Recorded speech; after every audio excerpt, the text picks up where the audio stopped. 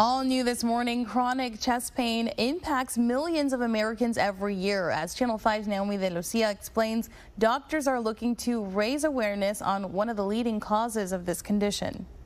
40,000 people each year will suffer from this rarely diagnosed disease, but many people don't know it exists. We know that roughly 5% of non ischemic chest pain is pericarditis. But it's only 0.1% of admissions uh, to the hospital uh, with pericarditis. Pericarditis is the inflammation of the sac that surrounds the heart, which causes sharp chest pain and, in some cases, difficulty breathing. But sometimes it keeps coming back. So, the biggest cause of what we call recurrent pericarditis uh, is under treatment of the acute episode. There were no guidelines to treat pericarditis in the U.S. until now. Dr. Alan Klein worked with 22 experts all over the world to publish a consensus. And this um, allows us in one place to have um, recommendations from all these experts how you diagnose it and how you treat this. The statement details how to utilize different types of imaging and diagnosis and what to look for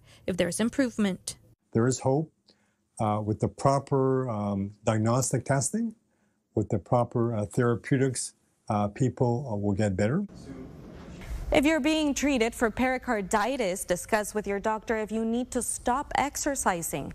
Dr. Klein says people with pericarditis need to keep their heart rate below 100 BPM. However, there are some treatments such as IL-1 blockers that can allow exercise after just a month. With your medical breakthroughs, Naomi De Lucia, Channel 5 News.